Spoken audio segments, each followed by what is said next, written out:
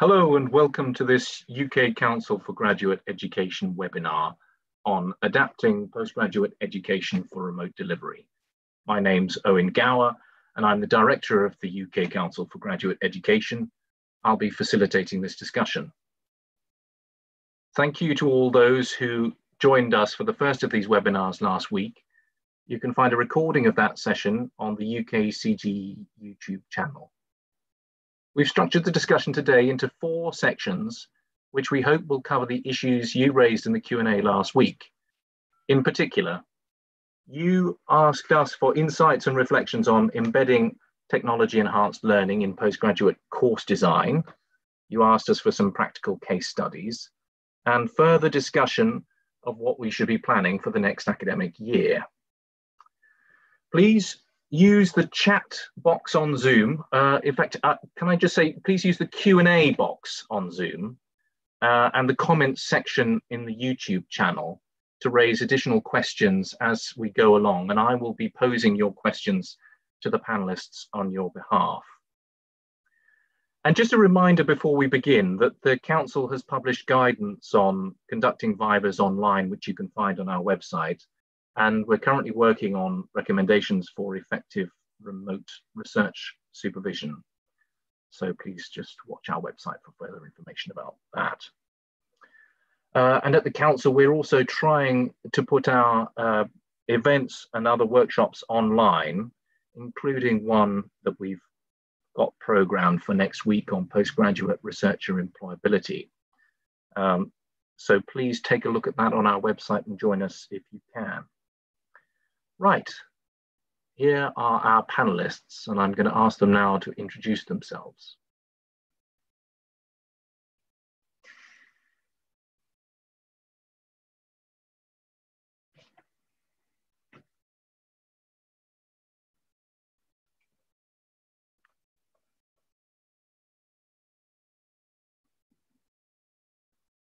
Karen, I wonder if we can start with you. Hi there, uh, my name is Karen Clegg. I head up the Research Excellence Training Team at the University of York. Um, lovely to e-meet you all out there. Um, we provide support for the York Graduate Research School in terms of professional development um, and training for supervisors and for PGR students um, and postdocs more generally. Thank you. Hello, I'm Tim Neumann. I'm a lecturer at the UCL Institute of Education, where I'm also heading the Learning Technologies unit, and I teach on our online PhD program.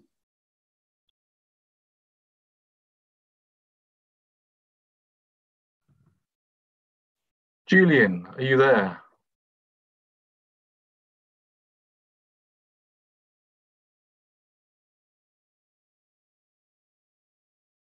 I think Julian might have joined as an attendee, so maybe if you can come back to him later. Thank you. Uh, in that case, Helen. Hi. Um, sure. I'm Helen Bowes-Catton. I'm academic lead for PGR training in social sciences at the Open University. I'm based within our graduate school, where it's my job to design and uh, and deliver um, our PGR uh, training curriculum for our doctoral students.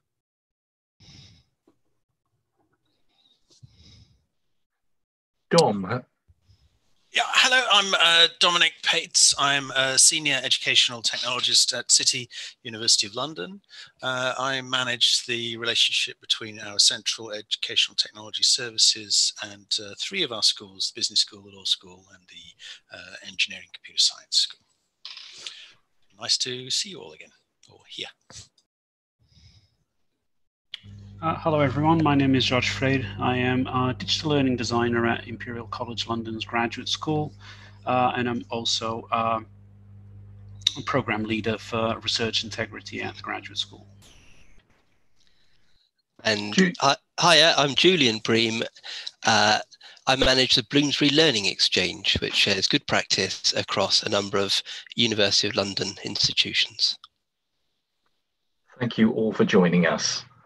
So our first section of, uh, for the discussion is the transition to remote learning and postgraduate education. So last week we had a useful discussion, um, but it, it, it, was looking at the strategic issues uh, relating to the, the impact of COVID-19 on, on uh, postgraduate provision.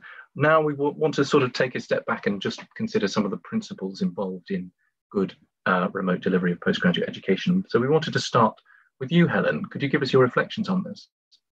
Sure, yeah, we'll do.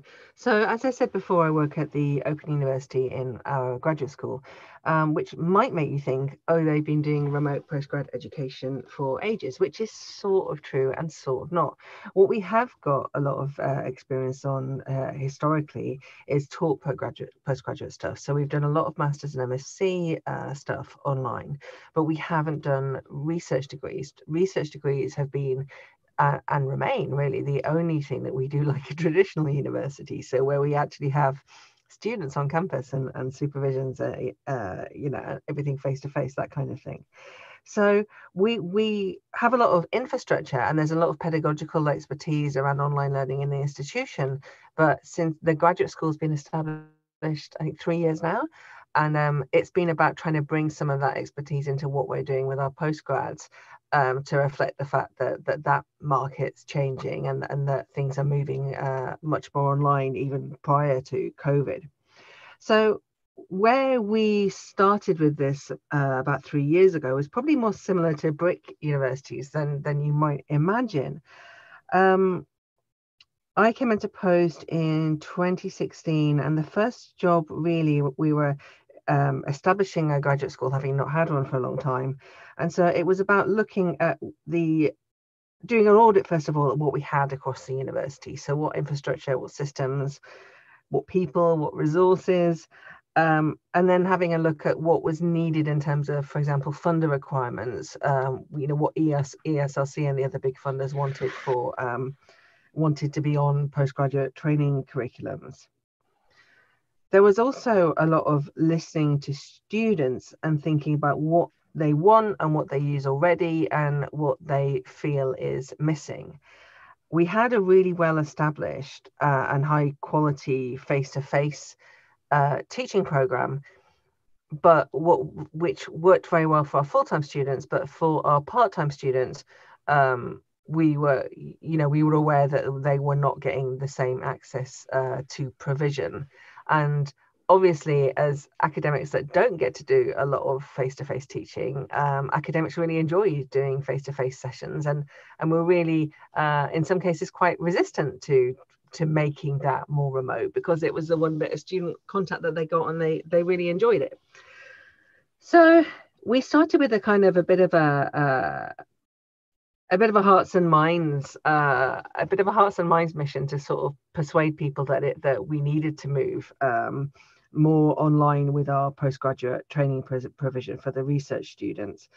Um, we started with using the program that we had already and um, just basically adding um, audio recording to that. So we moved to we move from a, just a straight live session to having um, a facilitator, an extra facilitator in the room to run an Adobe Connect session within the session. Um, and that's still what we're doing uh, for most of our sessions.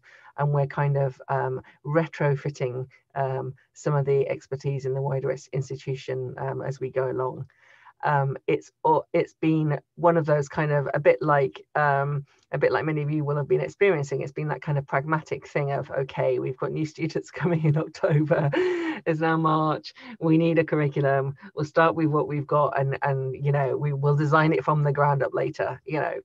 So that's very much the um, the approach that we've uh, that we've taken, and we're now getting to the point where we're sitting back, sort of two or three years in, and thinking, okay, what shape would we actually want this to be if we were designing it from the start? Something that's been really helpful is that we've been introducing um, a set of new professional doctorates.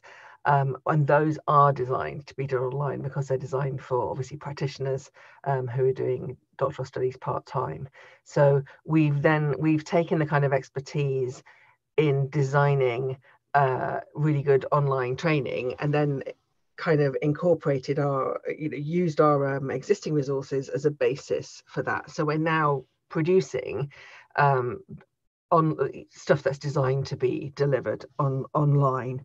Um, but it's been a sort of long and wiggly road to get there. So we did start by just doing audio recording. Um, and then as we kind of gained confidence with uh, with the tech of it and with how it worked and with how students received it, we started to add in video streaming too. We upgraded our equipment and got uh, got a decent camera and a good microphone. Um, and we're now do we're now live streaming um, our sessions.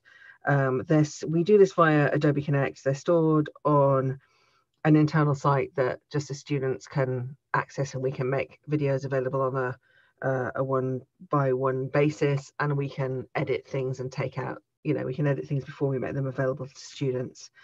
But we are finding that students are accessing the session. They're really valuing being able to access the sessions remotely they're really enjoying the live streamness and they are, they are also accessing them um, after the fact as well.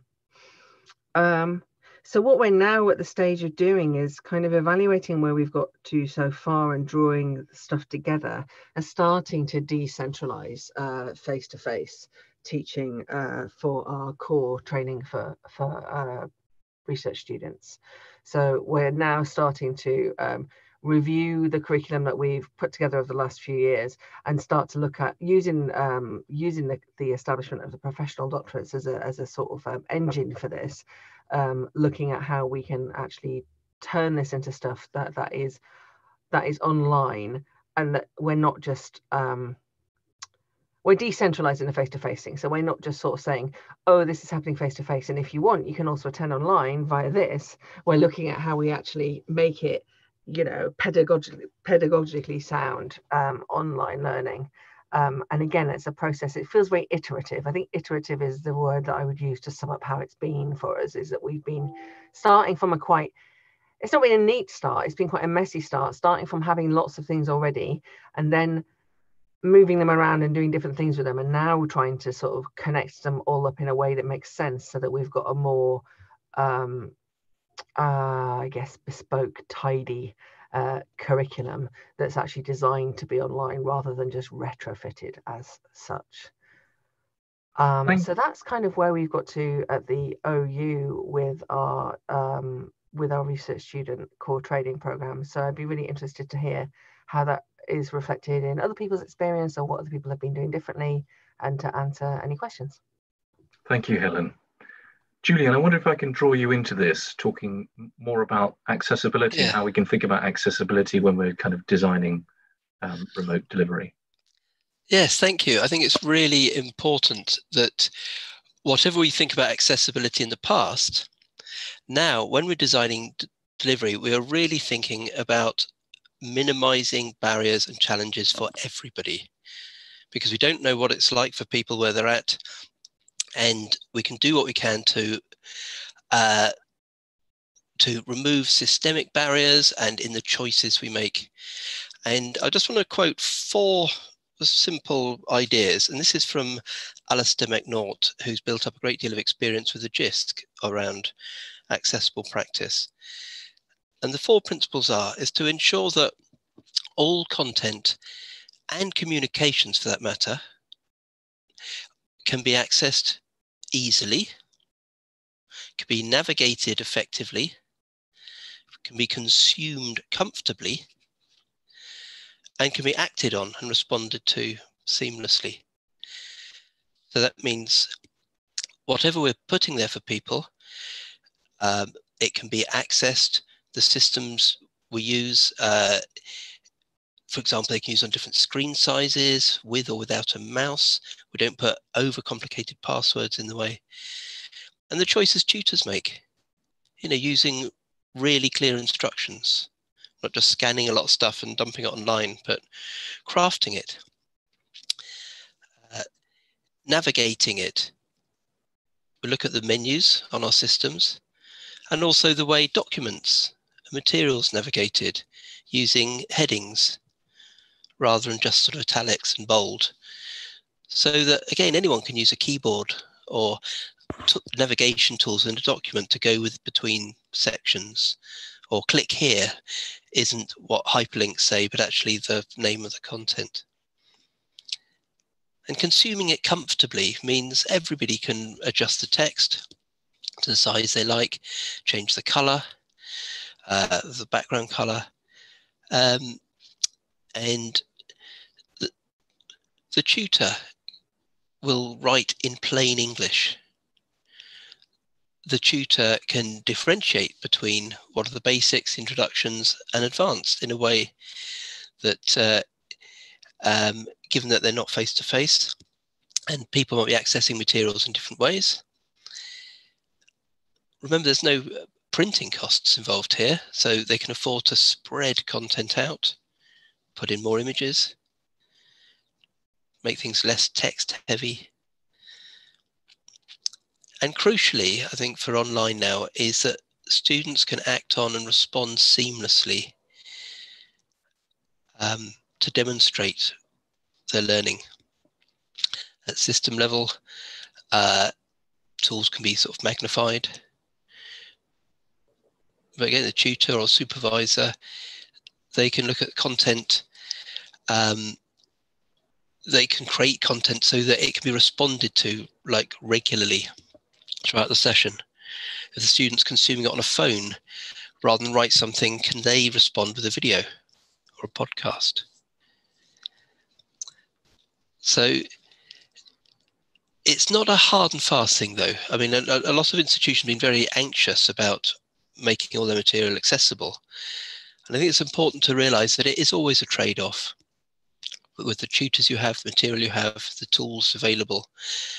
And as long as everyone's doing the best they can, and especially if they have a policy they're working towards, then that's a very defensible and sound place to be coming from. Um, and most importantly, that they're responsive. When they hear an individual student has difficulties, they can pick that up straight away and respond to it.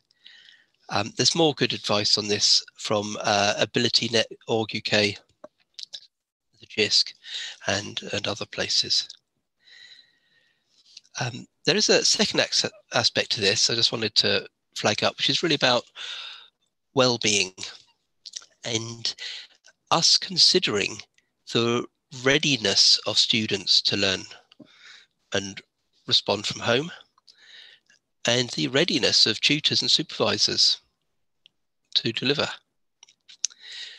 And we're all in the same boat at the moment, so we can put ourselves in their place and think what they need, not just the best of situations, but the most difficult of ones. And really question our assumptions about what we think works that was a very clear conclusion from um, the Research into Distance Education conference last month, University of London, was a, a call again to question our assumptions, to re-evaluate our assumptions all the time on what we think is going to work. And I just wanted to quote very briefly from uh, Imperial College's graduate school has five top tips. They are to tackle isolation with regular scheduled meetings, help people see faces as often as possible, have formal and informal meetings. The second one is to acknowledge the change everyone's gone through, to enable tutors and supervisors to look at their agreements again, recontract with the students. What will work best for them? How often to meet? Where and when? You know, what additional support around feedback assessment. And uh, maybe consider a, like a formal exercise to assess readiness. Because as someone at home, there's challenges on their bandwidth, access to uh, technology. Imagine they've, they've got children suddenly to look after all day, or family members with, with needs now depending where they live, they might not have access to furniture. You know, be able to sit in the place they can do it, or have the space and the time, or the time away from caring, to have the peace and quiet. So, a third element to consider is to be careful with our communications, not to overload people. And also, when we're asked for help, when tutors are asked, or supervisors are asked for help, encourage a coaching approach for people to solve their own problems now that we're remote from their circumstances, rather than feel like we will always have the answers, but encourage people to find answers, to solve and overcome difficulties. In terms of delivery, scheduling in downtime, recognizing, and I'm sure this won't be the first time we say this, online time is intense. We cannot just replicate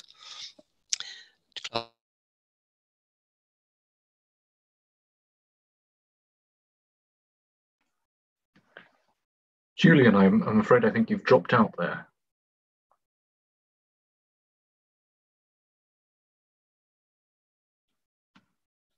I suppose that is one of the perils of this Ooh, virtual sorry, environment. I'm back on. Ah, here we are. It's...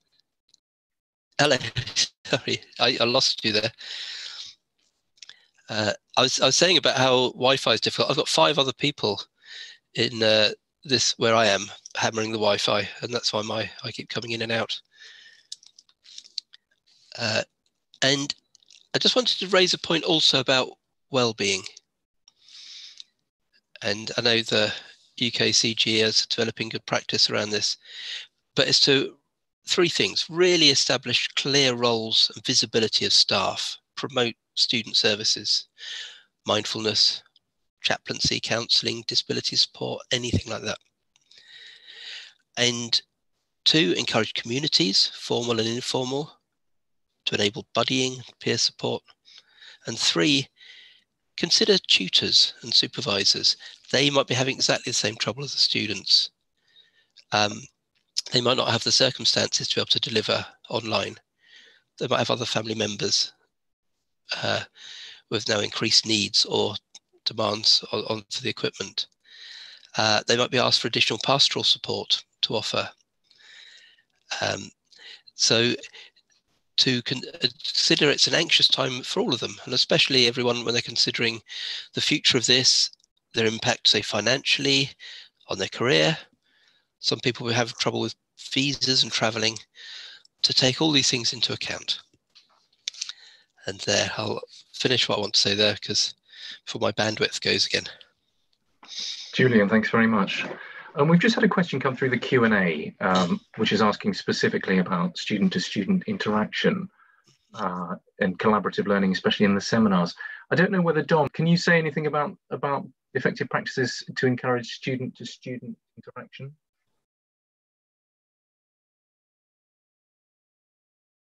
Uh, let me see what I can uh, see what I can say there. Uh, yeah, I, I, think with with all things, the setting of clear expectations is one of the key things here. Obviously, the affordances of the particular platform or the technology that is being used is uh, is important. You know, wh whether there is uh, sort of interaction capabilities designed in, as there are uh, with a platform like like Zoom that we're on uh, at the moment, for example. But um, one of the things that, um, uh, for example, um, none of us are in the same room where we would normally be uh, as uh, panelists in a live event, but um, the expectations have been set with us uh, uh, already that we do things like we use the raise hand function um, and uh, we, we, sort of keep an eye on the other communications channels as well. So I think um, prior to the actual uh, synchronous event, if that's what is uh, is happening, I think setting clear expectations around and looking at the affordances of the tool itself uh, uh are quite important for um, encouraging student-student interaction. Um, one of the other things I suppose as well from uh, from a staff point of view is uh, probably also to recognise and accept that students will often always find their own ways too. Um, so, uh, for example, if they find if they find that there is, uh, that they'll use whatever the tools are, are on hand, and they'll tend to self-organize for that. It might be that they'll find a Facebook group or a WhatsApp group or something. Particularly if there are no interaction uh, capabilities that are uh, that are already sort of designed in. Dom, thanks.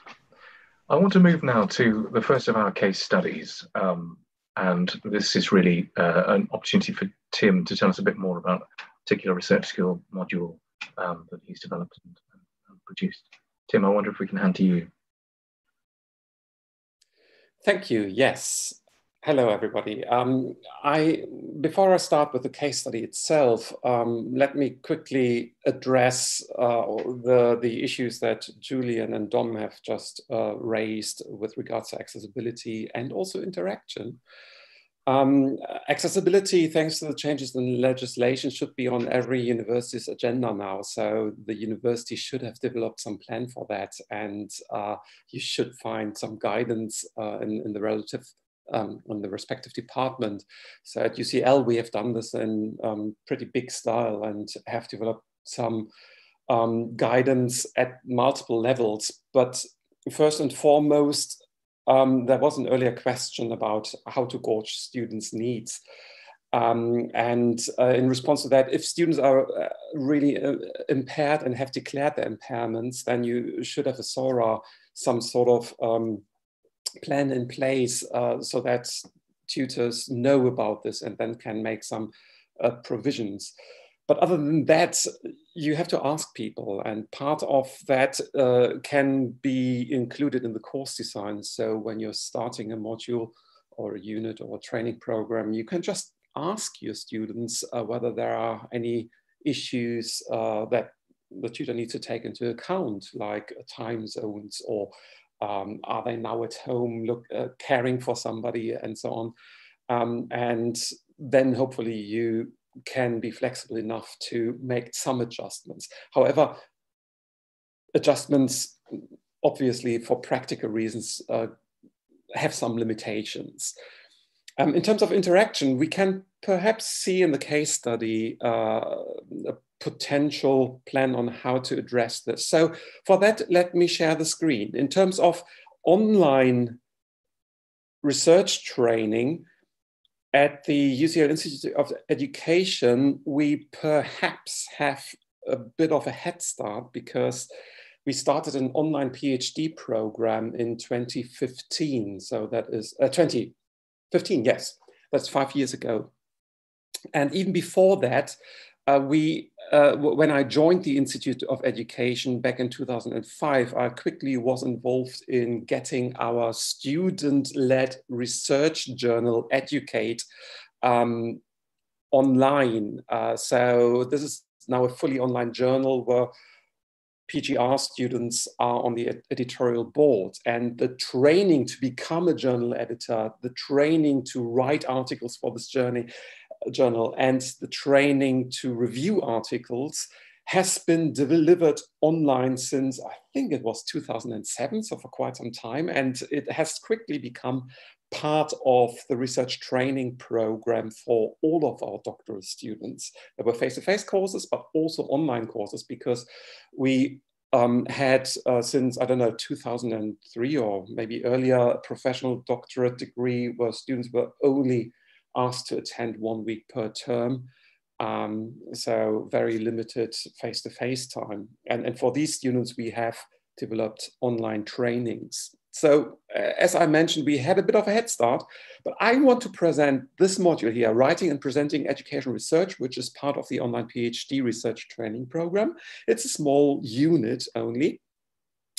Um, and I think it's not mandatory, but uh, it represents the type of trainings we run online. So you could replace the title with uh, quantitative research skills training or qualitative research or anything else which is part of the re research skills training. It's just that I am teaching this unit, so I'm most familiar with this. So uh, what we see here is Moodle. So our virtual learning environment is based on Moodle. And just to take one anxiety away from all of you, this looks really bland. So you don't need to produce anything uh, super visual and super uh, bells and whistle stuff. Uh, it, it's not really so much how attractive things look, but how engaging the activities are. Having said that, even though it might look bland, there has been quite a bit of thought put into the design of this module. It is reduced with a purpose in order to what Julian has mentioned, not to overwhelm students with too much information, addressing the cognitive load issue, um, and also uh, addressing other pedagogical principles. I can talk about pedagogical principles for hours because that's my background, um, but uh, I won't. I will refer you to other tips there instead. So we only have um, very limited information on the front screen, and then we have three activities in this module. This module runs for four weeks, and in this four weeks we do four activities, uh, three activities, sorry. And these activities take at least two weeks. So uh, the first one takes two weeks and it's about analyzing um, presentation to uh, learn how to critique presentations. And then the second activity is three weeks to create a presentation and even present online so that students get this presentation experience. And the third activity is uh, for two weeks to review the peer uh, presentations. Uh, but in order to review, we need to think about evaluation criteria, and that gets people into the critical thinking mindset, hopefully, in order to think about what is uh, what is it actually that I need to look at when I'm looking at presentations. So we do things mostly with the help of discussion forums. So for each activity, we have a description which really lays out in pretty great detail what students are expected to do. That goes back to Julian's point about setting expectations and really making it clear what students should be doing. So if you are spending time on something, then I would really suggest to spend time on writing clear and good instructions. Uh, so what I'm asking my students here is to pick a presentation from the web wherever they can find it, YouTube or elsewhere, and then uh, critique the presentation according to some suggested criteria just to get a bit of critical thinking going. And then as a second part, um, there should be some feedback and some discussions and that is actually the, reason why we are taking more than one week for each activity. Because online, when people are not uh, online at the same time and meeting uh, each other at the same time, discussions need time to develop because people are doing it in their own time. So spread out your activities over a certain time frame. And then uh, what you're probably more interested in, how do I run presentations online? This is the core part of this module, the capstone activity where students pre prepare presentation and then uh, present it online. And the activity here um, suggests that students can choose one particular context, a type of setting that their presentation should uh, be situated in. Can be a conference presentation, poster presentation, research funding pitch, introduction to friends and family, to a lay audience, and so on. So, uh, so I want to uh, get PGR students to think about their audience really and really target their presentation towards this particular audience. And then some tips what the uh, presentation should include and what outputs they will need, the presentation aids like slide sets, posters, infographics, and so on. And then once that, so they need to prepare an artifact. And once they've done this, they need to present as well. But when we are online, some people might have real difficulties jumping into a web conference at particular times. So I tend to be very flexible. I schedule multiple opportunities at different times, and we run a doodle poll to find out when people could deliver their presentation live in a web conference. However, even that's might not capture everybody. So I give people the option to run their presentation in a recorded way, and I give them a few tips on how to do this, for example, using PowerPoints included recording facilities, and then just upload the whole thing. And I'm managing this whole activity like a proper conference. So we have a proceedings database where students are submitting um, their entry like in a conference, they need to give it a title, classify their context, and uh, how they want to present it. And then they need to submit an abstract and upload their um, artifact, although this can be at a later point. And then what we will then get is a nice database. I've redacted the names of the students. This is from a live course where you could then link through the abstract. And then once students have done the recording, the live presentation, which uh, has been recorded, or once uh, students have recorded themselves somehow asynchronously, then we'll get a link to that recording that people can view. And then they can also leave comments in order to have a discussion and you do the Q&A online. And that works pretty successfully, I have to say. Um, this course uh, did not have many responses because we only had a small cohort of, I think it was six students in there. Um, and finally, I uh, get them to review the whole set of presentations according to certain criteria. And for that, I'm using Padlet as a tool to get some evaluation criteria together. So some students really went uh, all out here and developed a proper marking rubric um, with uh, criteria and different levels. But I also put up the three minute thesis presentation, which is this nationwide competition that runs, because we can use this module to prepare students for the three minute thesis competition. And at UCL IOE, we even were accepting online presentations for this competition. So I want to close off uh, with two things. One, um, Julian mentioned the importance of seeing the face. For that purpose, I start every module with an introductory video, which in this case, I've run it uh, as a web conference. And there, students are then seeing my face and they see me talking uh, uh, at some point. Now, that is, hasn't high production values, but it sets, sets the social presence. And if you know of the communities of, of inquiry framework, that's a very simple concept um, that helps you think about what elements you need to have and balance in order to get a good educational experience. So I want to finish off by pointing out some tips and tricks that you may like, which are valid for PGT as well as PGR. So just over the past few weeks in the frenzy of getting stuff together, I have actually been uh, creating some drop-in sessions for UCL where we were talking through some practical online teaching tips and some of the things I've mentioned here will reappear in these short 50 to 20 minute sessions, uh, recordings here.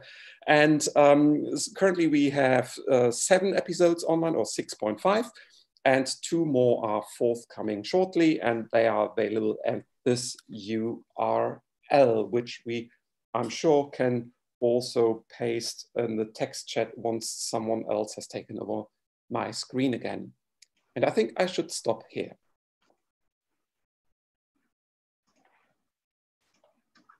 Tim, thank you very much indeed. Um, that was very helpful, very in, informative, and I have to say, very, very humble too. Thank you. I want to move um, on now to the second of our case studies, and this one is being led by Karen. Karen, over to you.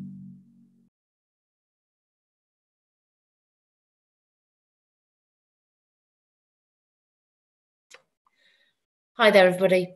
Um, I'm hoping that means that uh, you can you can hear me. Owen, can you confirm I'm audible? Yes, you're all there. Lovely, perfect.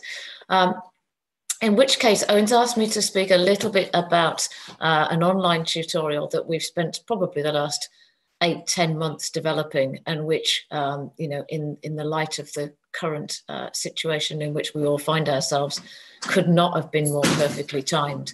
Um, it's we, have not been um, previously great at, uh, or, or, rather effusive in terms of the way that we present online um, like in many universities, we've relied on quite a lot of face-to-face training um, and sort of, I suppose, sensing that we had a, an amount of commuters and obviously distance learners, we developed this um, as an online way of, of supporting predominantly supervisors. So this is a, a, a, different take, I suppose, is the, the flip side of the coin.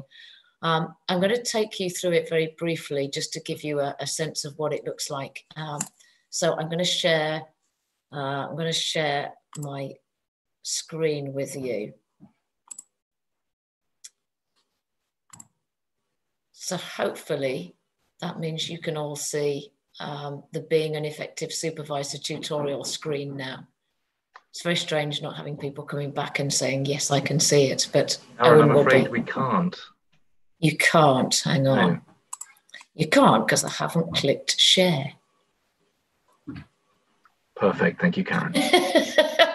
you see, this this just shows that how human you've got to be. And it was one of the things I've been thinking as I've been listening to other people speaking is, um, you know, we have to be a bit brave, I think, or braver um, as educational developers and as, as researcher developers in just being able to um, experiment and use the gift uh, of time that we've been given if we want to see it positively to have a go at new stuff um, and that means getting things wrong publicly occasionally, um, which perhaps we're not all comfortable with, but nonetheless, you can now see the screen. So um, BEST being an effective supervisor tutorial um, is a complementary online tutorial um, for the University of York supervisors. And it complements our being an effective researcher tutorial, which is effectively an online um, induction and set of resources and links to support at the university and more widely. Um, for the technical information amongst you, it was created using Xerte, um, which I gather from my colleagues um, is pretty easy to use. But my recommendation, I think, would be use whatever platform you've got, use uh, whatever technology is available to you at your universities and where you've got support um, from your IT folk. But I'm not suggesting that anybody creates this in the next couple of weeks, but I'll try and give you an overview of, of what it does to um, to give you some some maybe thoughts and tips. So the, the screen that you can see in front of you gives you a little bit about how to navigate the colors, altering the text size, etc.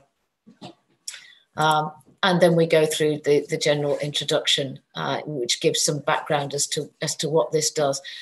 This is now available um, on our learning management system. So it's available to, uh, to all staff. That includes um, research administrators in departments and so gives them some background as to how they might also support the supervisory experience. Um, and it goes through a number of different uh, a number of different sections. The first one that I want to flag up is that uh, we started building the program last year at about the same time as we were piloting the UK CGE supervision recognition program. And so we've been able to draw on our experience of supporting supervisors through that process and then refine um, the, the outline and the framework for the tutorial around the, the 10 uh, criterion for good supervisory practice. So in due course, as we're going to go through um, supporting academics through, through the recognition program, it also means that this set of support aligns to those, to those criteria, which was uh, in some ways uh, fortuitous and, and accidental, and in other ways um, was, was a, a, design decision that we took um, late on when it appeared that the, the two areas. Um, so how to support supervisors obviously mapped really nicely to those criterion. So uh, that's there for you to give some thought to uh, perhaps how you might want to design support for supervisors and the areas that they might be tackling, particularly at the moment um, in the, the situation that we find ourselves so it's in six sections at the moment. Um, as I say, all of them then are mapped to those 10 criterion. So we start uh, at the start with the, the process, the regulations, the policy, the progression. And obviously they, they would have to, uh, to link and speak to your own institutional policies if you wanted to develop something similar. Um, we'll all have something very similar, I'm sure, in terms of policies for research students, but, um, but they will differ. Then there are approaches to supervision and building effective relationships, and there we've, uh, you know, we've plagiarized. Um, joke, of course, that with, with complete reference, um, we've taken pedagogy, we've taken literature. Um, I know Stan Taylor's uh, out there in the ether listening, so Stan, huge thanks to all the work that um, that you've done, then to which we've made reference in here section on supporting uh, student welfare, and I echo um, what's been said previously in this respect, in that the community building um, is really important. And I'll say something more about that uh, in a moment when I take you through that section. Section on information, digital and writing skills, um, as you might imagine, one on professional development and careers, uh, and a final one on completing the PhD. Again, I'll say uh, a few more words about that um, when we get there in the light of, uh, of COVID-19. So the, the policy section, as I say, I'll just skim through because this would need to align with your own institutional practices. Um, obviously, we all have a, a, a, common criteria in an original contribution to knowledge for a PhD research uh, awarded, um, but our other practices are going to be institutionally different. So this takes us to our policy um, and to our principles on supervision code, etc and the timelines again um, different timelines. So for those of you who were asking um, through the chat feature whether this was applicable to postgraduate taught um, the answer is some of it. Um, it's aimed at pgrs but much of this will be applicable also to pgt and i think the principles of supervision um, and the pedagogy that's referenced there will will definitely um, be of, of use to, to pgt supervisors areas here around recruitment and selection. Um, and here, we, as I say, we've linked to the UKCGE guidance and, uh, and their, the criterion for the recognition programme. PGE induction, this gives some sense of, uh, of induction uh, and again references uh, the, the, the way in which you might approach a supervisory meeting I should say these are all internal photographs. Obviously, you can uh, you can raid your own resource bank and image bank um, for something applicable should you want to go down down this route. Um, many of you, I'm sure, will have your own institutional or bought-in packages um, for supporting PGR students and the research process. Ours is SkillsForge, which uh, is a York-designed uh, platform uh, and, and, monitoring and, and booking for professional development tool. Um, it is commercially available, but this isn't, isn't a plug for them. Um, there are many other, other tools out there. So again, all the process, I'm not going to go through this, but hopefully you'll see some things in here that, um, that chime with your own experiences about the formal reviews of progress, etc um, and how that's approached. So, in terms of, of, of, approaches to supervision and building effective relationships, what we wanted to do here um, is to focus really about that that uh, relationship and how you can build up, um, you know, effective relationships that enable students to feel both supported, um, for the institution to support and demonstrate their duty of care and to enable uh, progression uh, as easy as possible. So here there are some here there are some opportunities for uh, for supervisors to, to think uh, for themselves and, and reflect on their own experience. And again, should the supervisors want to consider going through the supervisory recognition scheme, um, effectively what this does is provide uh, a, a, reflection on practice. I'm going to turn my phone off, apologies for that.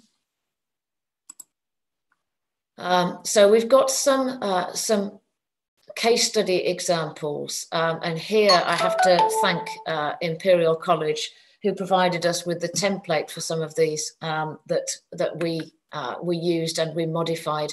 And effectively, it gets our supervisors thinking about the kind of situations that they might find themselves in and what they might do as a result. Um, again, different thoughts about how, how supervisors might approach. And we found that this works really well in face-to-face training. Um, and there's no reason at all why why this isn't enabled online and where people have got a little bit more time to think through uh, their responses and how they might um, consider that. I'm aware of time, so I'm going to flick through this, but it'll give you a sense of where some of these articles came from. Much of it is UKCGE. Um, Kay Guccione's done, done some, some super research um, also, um, where we've, we've identified those. So process of, of coaching was spoken about earlier about principles of supervision, how you maintain that relationship. And, and I think at the moment, more than ever, keeping those lines of communication open, seeing students face to face online, uh, maybe talking to them on the phone and, and taking, uh, you know, a physical walk around the garden or around the house with your students um, maybe is, is a way of, of diverting away from many hours in front of uh, in front of a Zoom or Google Hangout screen, um, making sure that students have the opportunity to clarify and ask questions about institutional approaches um, and their own situations. So supporting different, uh, different groups, we've got some information on that also. I'm going to skim forward here rather than take you through um, every section. So you can navigate this um, reasonably well. In terms of um, researching student welfare, again, we have some common challenges, um, what's available at the University of York.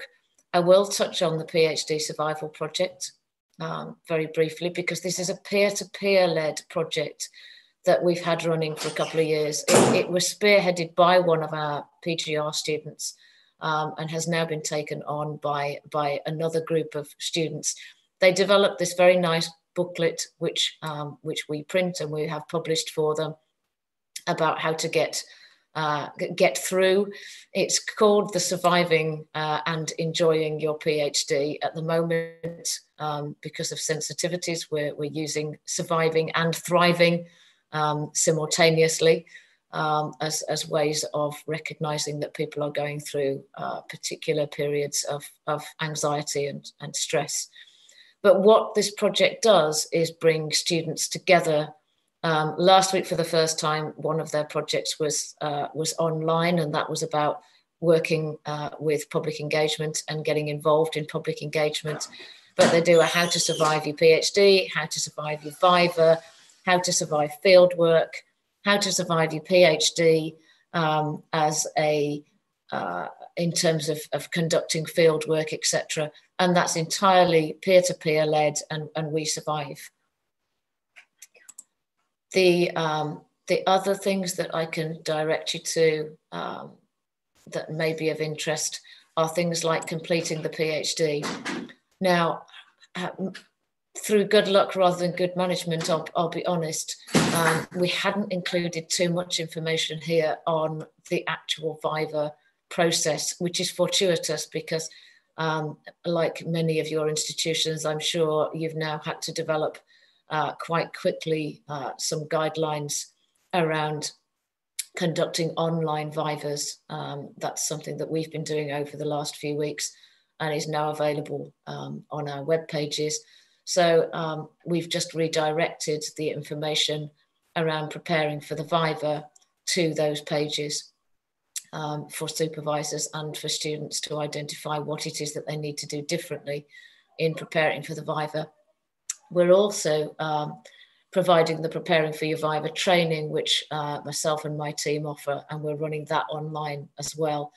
Um, and we've opened that out to research administrators because we know they're key to supporting students and supervisors um, and those who are acting as internal examiners uh, through the process. So we've opened up that training to pretty much anybody involved with the research um, experience uh, who might be there to support their students through through that particular period. Um, and I think that that takes us to, to the end in terms of links and uh, and resources that that we're able to to offer there. I think those are all the points I wanted to make. Um, I'm very happy to to take questions as directed by Owen, but I will shut up now. Thank you. That was so helpful. Thank you very much indeed. I'm going to move on now to the final section of today's webinar. And this is uh, really uh, five minutes, George, for you to sum up what you think the future may hold. So, George, can I ask you to look into your crystal ball and tell us uh, about why it won't be back to business as usual in 2020 to 21 academic year? I'll do my best.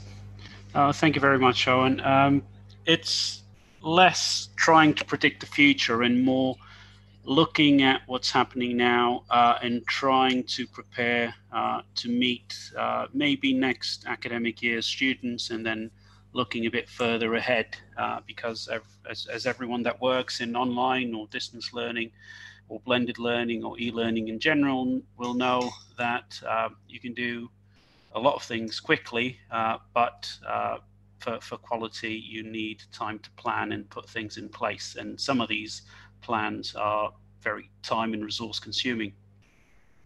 Um, hopefully, looking ahead will help uh, people that come came to this webinar to align um, some of these thoughts with their own strategies and, and, and plans, uh, and uh, sort of identify that the tension that uh, the, the sector is uh, uh, under now uh, is is not um, unknown and and for people working in technology enhanced learning might even be familiar.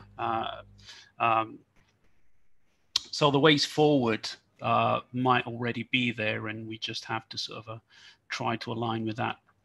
Um, I will just very quickly look into what happened over the last month, and then try to look at least up until the next academic year in, in, in, terms of what I've been seeing, in terms of the conversations I've been having, uh, in terms of uh, planning for the future. So uh, I think over the past month, uh, we've seen uh, a sort of unprecedented uh, speed in, in, adopting technology enhanced learning to to deliver teaching and learning activities. this has allowed us to finish the academic year uh, and I think a lot of the issues that e-learning has, has has been meeting over over you know many many years now uh, seem to all of a sudden disappear, and and we've seen synergies and collaboration and change and barriers uh, disappearing uh, and uh, an acceleration. Um, a lot of that initial movement over the, the first couple of weeks after university closed uh, were sort of a like for like replacement uh, with a lot of synchronous activities. And if you look at the statistics uh, of, of published by Zoom, Adobe Connect, and Teams, you'll see an explosion of, of, of meetings and, and sort of live sessions that happened across the sector. Uh, funnily enough, a lot of these players like Microsoft and Zoom are predicting that come next academic year, this uh, will decrease tremendously, um, uh, not to the levels of before, uh, the, the, uh, the, the, closing of a lot of face-to-face teaching, but uh, definitely be reduced, which is interesting. I think that is because people are starting to think more strategically and are putting plans in place for next academic year with a focus more around um, synchronous and asynchronous teaching and effective assessment planning.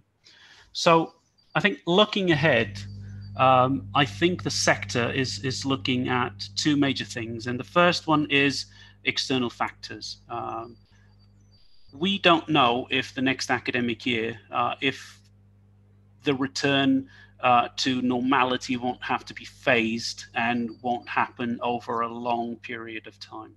So if there's a, a phased return, um, it might be that we're in a, a situation where teaching resumes um, but certain sectors, certain practices uh, are not fully open yet. So we need to be prepared for that. We also need to be prepared for the possibility that certain sectors of society and, and, and universities as well might have to open and close uh, part of their their functions um, in in depending on external factors. It might be that something will need to close with, within a week or two weeks if, if we see another peak. Uh, and then we need to be prepared to, to, to do that. I think the sector is also looking at students' behavior and, and trying to predict how keen international in-home students will be to join university life, to start a new course, especially at postgraduate level. Um, and if they are, what their expectations are in terms of technology enhanced learning, because I think everyone will agree that whatever happens next academic year, the student experience will have to be more carefully planned and better than what happened with uh, less than a week of, of preparation. Um, in terms of a strategy and things that we can put in place to prepare for the future, I think every, people that have been working in technology enhanced learning uh, will will not be strangers to to seeing this tension. That it's we put a lot of time and energy into going from a situation where there's very little uh, uh, technology enhanced learning uh, in blended learning and distance learning, um, and that is a first great step. But the second step, which is from having something in place into uh, building something that is scalable, research informed, quality assured, um, with with proper staff development, uh, student development, etc. That step is much much harder to take. So if we are planning for the next academic year in the future, there are things that we will need to put in place and questions that we'll need to answer relatively quickly. And, and one of them is what do we want to communicate to our postgraduate students over the next month or so in terms of the next academic year? I mean, they are thinking, they are in doubt. Uh, what are we telling them uh, relatively shortly in terms of uh, this is what you can expect? Um, one of the major tools that we have, uh, because the academic calendar is, is sort of fairly structured, so things should happen uh, around a certain timeline. And one of the major tools that we have are the onboarding and inductions. So how are we planning for those? Uh, knowing that there are unknowns, knowing that uh, we need to prepare for the possibility of remote teaching, and how are we building these inductions um, to make sure that student skills and student expectations um, are met and that students are ready to join us for blended or distance learning. Uh, I think another major question that people are probably working uh, now to answer is how are we building assessment that we can de deliver effectively and fairly? Uh, we don't want to be caught in a position where uh, we plan for something that we can't deliver and then we try to replace it with something that might not be as pedagogically sound uh, as uh, we could. Um, and then the other question that we need to address is in terms of staff development. I saw a tremendous amount of training going out and resources being collated. Most of them were around uh, tools that you could use and the how-to guides and the videos, which it's common in a, first stage, especially when a lot of novices join uh, and adopt a certain type of tool in practice. But how are we addressing the need for academics and teaching staff to be able to course design, do assessment design, and do effective facilitation um, uh, using technology enhanced learning? How are we training our staff to be able to, to do this? So the only recommendations I could give, uh, because we don't know what's happening, and um, are three really. Uh, the first one, I think, is to uh, embrace true blended learning either if that means synchronous and asynchronous, face to face and online. Um, if you are teaching staff, embrace it. Uh, be able to design and develop and facilitate and assess using the variety of strategies that blended learning demands.